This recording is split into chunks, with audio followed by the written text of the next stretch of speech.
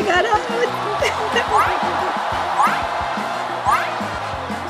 this is when I say, "Oh my god, I'm gonna win. I'm gonna win, I'm gonna win, I'm gonna win. it's funny that, you know, the, the same reaction, everything that I did, I actually told my teammates before, like a couple days before I ran, that if I win, this is how I'm gonna do. And I did the exact same thing. I jumped. I didn't know what to do with myself.